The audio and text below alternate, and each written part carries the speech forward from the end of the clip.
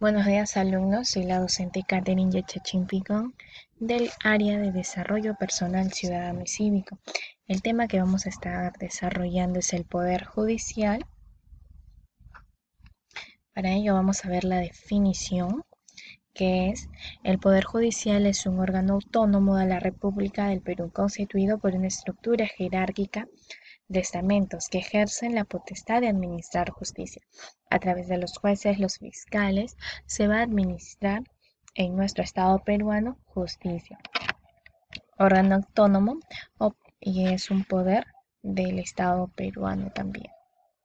Tenemos los principios del Poder Judicial, el principio de no ser condenado en ausencia, el principio este principio en qué consiste, en que la persona que haya sido procesada, que, que, está siendo procesada y va a ser sentenciada, tiene que estar ahí, o sea, viviendo su proceso directamente. Una persona si no está presente no puede ser sentenciada.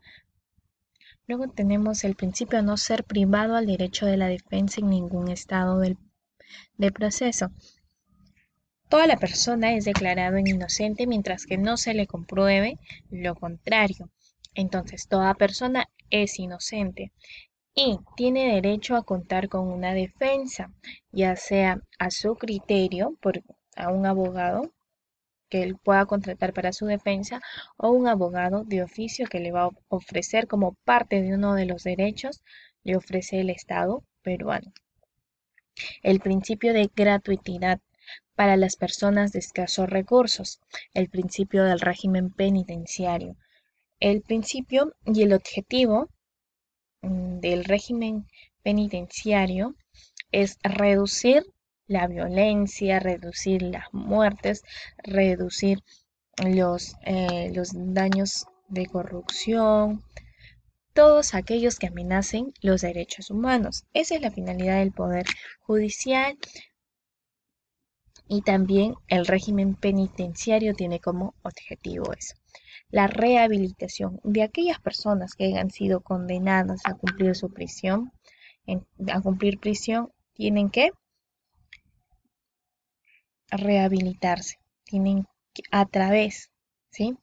de la educación que les brindan, ¿no? a través de lo que es la educación por el trabajo, les enseñan a realizar distintas actividades a los penitenciarios para que cuando salgan de esta prisión, termine su pena, se reincorporen a la sociedad para que ellos puedan tener nuevas oportunidades.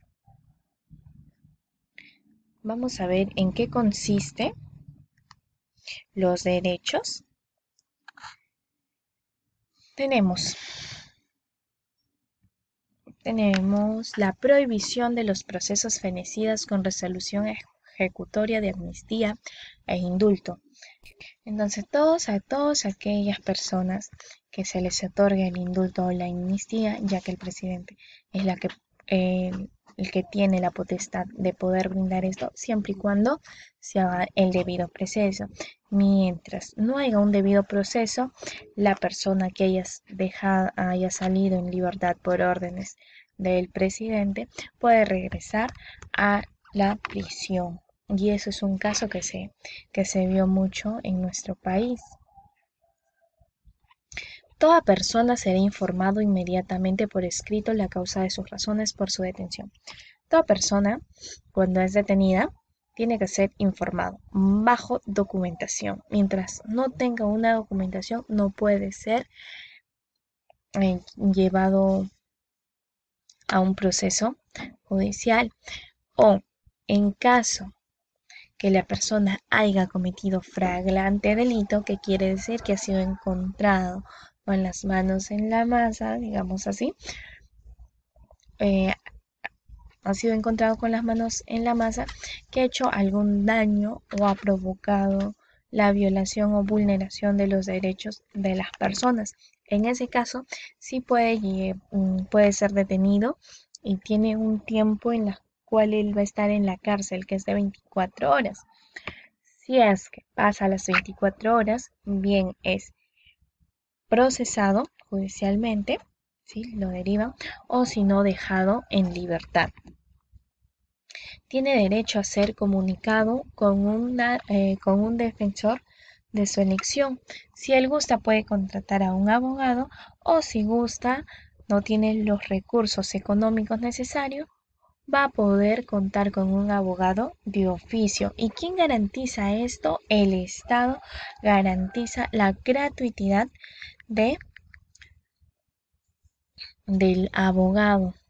¿sí? Y mm, bueno, garantiza la defensa del encarcelado, del que de la persona que está siendo procesado. Vamos a también ver los derechos de los reclusos,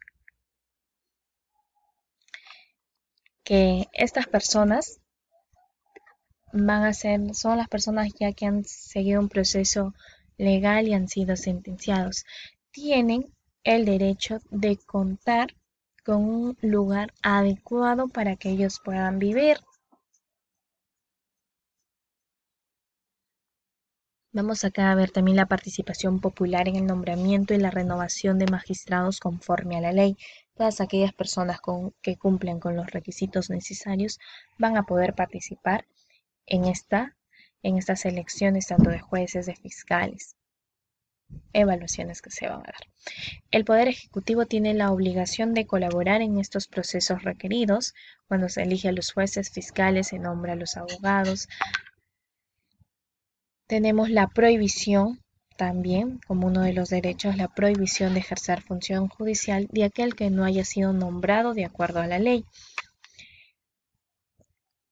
El juez, el fiscal o los abogados dan su examen ahí aprueban el examen, pero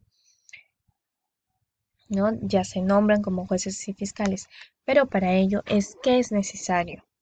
Es necesario la juramentación para que puedan hacer uso de sus funciones, mientras que no juramenten, ellos no pueden eh, eh, hacer uso de las funciones judiciales primero se va a dar la juramentación para que ellos puedan hacer uso de sus facultades como jueces y como fiscales.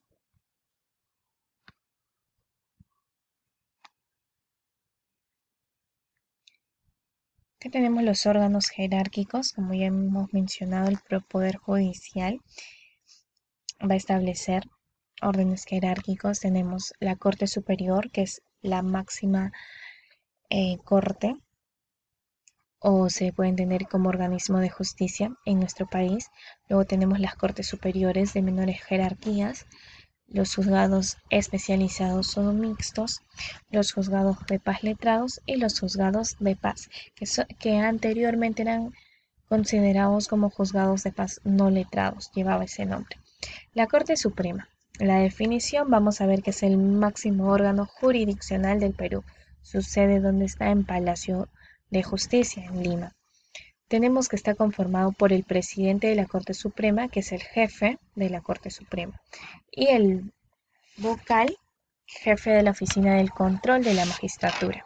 Sus funciones son específicas, actuar como tribunal de casación, anular sentencias judiciales, juzgar al presidente de la República, magistrados y fiscales, los requisitos para ser presidente de la Corte Suprema es ser peruano de nacimiento, ser ciudadano en ejercicio, ser mayor de 45 años y haber sido magistrado fiscal superior durante un periodo de 10 años o haber ejercido la cátedra de abogacía en las universidades.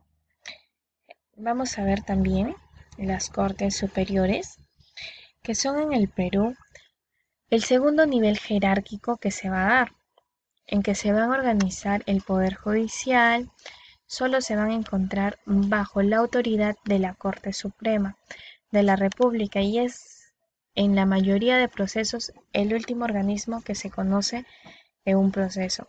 Actualmente existen 29 Cortes Superiores.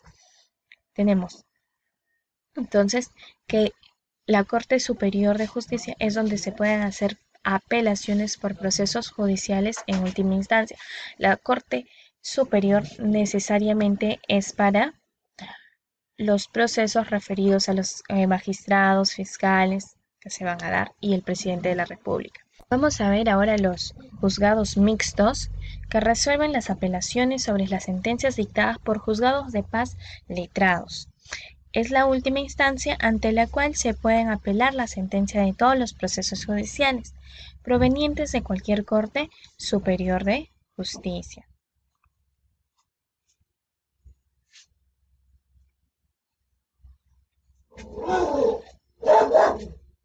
Tenemos los juzgados de paz letrados, en los que el juez es, es abogado y resuelve aplicaciones de derecho nacional en sus distintas sedes.